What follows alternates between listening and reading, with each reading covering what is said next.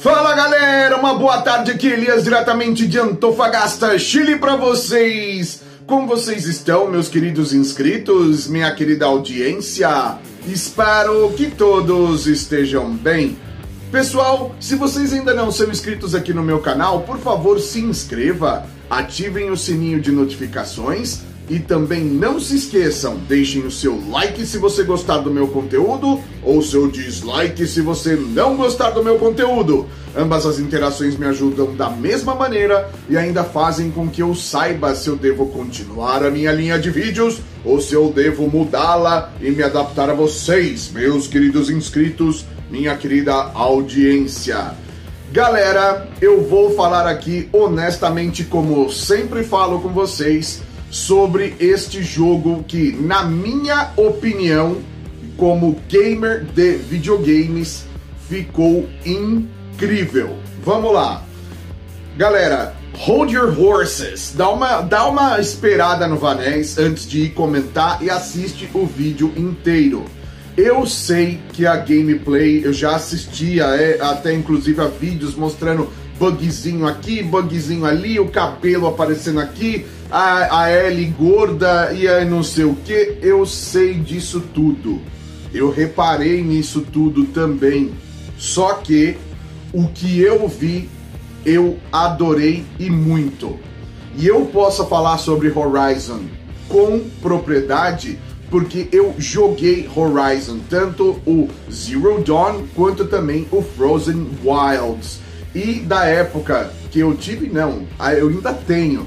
É, do, do meu PlayStation 4 é um dos jogos que eu tenho e eu amo Horizon Zero Dawn e eu amei Horizon Forbidden West. Para mim, a Guerrilla Games é o melhor, é o melhor de todos os estúdios que a Sony tem.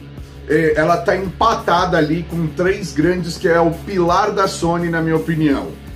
Guerrilla, a Band Studios e a Santa Mônica. Essas três, é, ela tão, elas estão ali em um primeiro lugar que uma não consegue ultrapassar a outra. Essas três definem a Sony, na minha opinião. O resto é resto. Mas essas três, elas definem a Sony, PlayStation, na minha opinião. Foi os jogos que eu mais joguei no PlayStation e os jogos que mais me causaram o fator diversão, o fun factor, tá? E Horizon Forbidden West, ele, se não houver downgrade, se a, o jogo for assim extremamente colorido, igual está aparecendo, com essa dinâmica, com esse tipo de movimentação, aí diz no começo do jogo que foi capturado no PlayStation 5 e tudo, cara, vai ser um jogo divertidíssimo e incrível de se ter. Ah, Elias, mas esse vai ser um jogo que vai te fazer pegar um PlayStation 5? Talvez daqui uns dois anos, quando o PlayStation 5 estiver com seus problemas de fabricação corrigidos e o seu DualSense em uma segunda versão também com problemas corrigidos. Hoje eu já comprei, inclusive já saiu do Brasil, o meu Xbox Series S, tá? Com a ajuda do meu grande irmão Crodork e ele vai chegar aqui e a gente vai jogar muito junto, vai se divertir muito junto. Mas antes de eu ser um canal só de Xbox, eu também sou o Elias, que na sua vida particular amo jogar videogame e jogo videogame há 39 anos. Eu tive simplesmente todas as plataformas. Todas. Atari, Odyssey, Nintendo 8 bits, Master System, Mega Drive, Sega CD, Sega Genesis, tudo, tudo que você pode imaginar. Super Nintendo 16, Nintendo 64, PlayStation 1, PlayStation 2, PlayStation 3, Xbox 360. O meu Xbox 360 foi destravado, tá? Por isso que eu não tenho gamer tag de antes é, tive também é, o, o, Play 4 e fora os, outro, os outros aí, tipo é, 3DO, tipo Game Gear, Game Boy. Os únicos que eu não tive foi o, o PSP e o PS Vita, que os controles muito pequenos, e mesmo o Game Boy, é que na época do Game Boy minhas mãos não eram assim ainda, desse tamanho, tá? Eu era moleque ainda, então ainda dava para jogar. Agora não dá. Eu engulo um Game Boy se eu pegar com essas mãos, tá? Então assim, o que que acontece? O que que acontece, caras? Eu simplesmente amo jogar videogame. Jogar videogame. E eu amo o fator diversão, o fator de alguma coisa que me marca. O fator de que eu simplesmente gosto de algo que me impacta. É igual quando eu vejo Ori, é igual quando eu vejo, é, por exemplo, o Gears, é igual quando eu vejo Forza, é igual quando eu vejo Hellblade, a produção do Hellblade 2, imaginando como vai ser aí um Gears da Unreal Engine 5 imaginando tudo que vem pela frente, Starfield, tudo me dá esse sentimento, essa coisa boa. Avowed, Psychonauts. Mal posso esperar para poder jogar com vocês Sea of Thieves. Mal posso esperar para jogar com vocês tanta coisa. Um jogo que eu quero pegar no meu Xbox assim de primeiro, que é um dos primeiros que eu vou comprar, com certeza é Sekiro. Sekiro Shadows Die Twice Quero jogar ele a 60 FPS no Chiboquinha. Caralho, como eu quero jogar esse jogo. A gente vai jogar muito junto, caras. A gente vai fazer muita coisa bacana juntos. Que eu mal posso esperar para dividir esses momentos com vocês. Só que eu não vou, eu não vou ser desonesto e não vou ficar falando porcaria sobre um jogo dessa qualidade igual Horizon Forbidden West. Eu entendo o que vocês podem dizer dos downgrades da Sony. Eu, eu entendo dos downgrades aí da, da própria Naughty Dog, quando fez a apresentação ali do. Como que é o nome? Do Uncharted 4, que fizeram até um vídeo comparativo entre o jogo apresentado na E3 e o jogo que foi realmente lançado. A discrepância, que um quebrava coisas, tinha mo certos movimentos, um monte de coisa.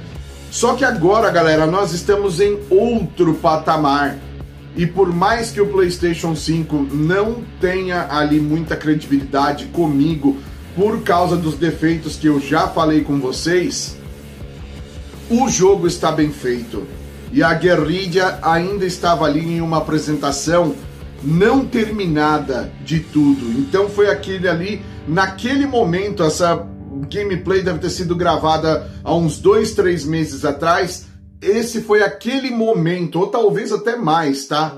Foi aquele momento onde estava a engine, as coisas ainda não estavam com polimento total, ainda não tá terminado o jogo. Então, igual aconteceu com o Halo, aconteceu em, em certas partezinhas que o pessoal pegou um frame outro para ficar falando mal do jogo.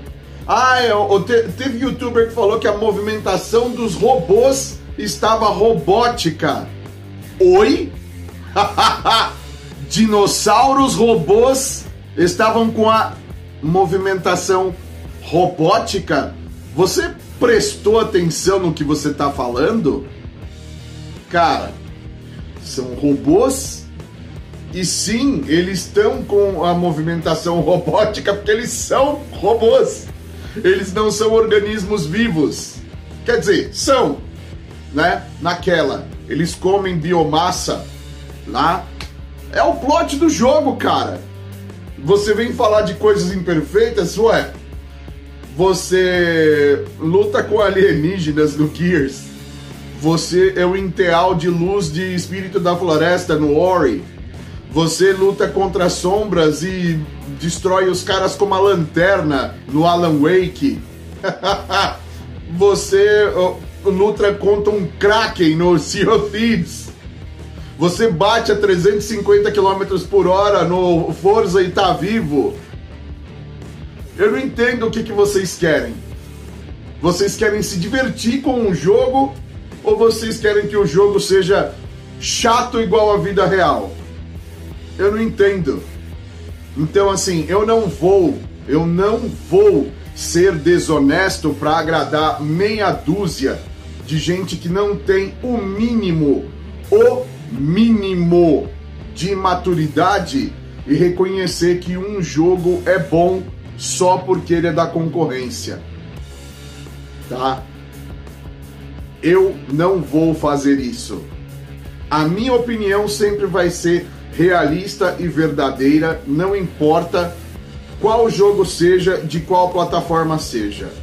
Ah, Elias, mas os caras não fazem isso. O problema é deles. Se eles são mentirosos, se eles gostam de mentir para eles mesmos, o problema é deles. Eu gosto da verdade. Eu gosto de ter a minha opinião ali apresentada de maneira honesta para vocês. E Horizon Forbidden West é simplesmente um jogo incrível.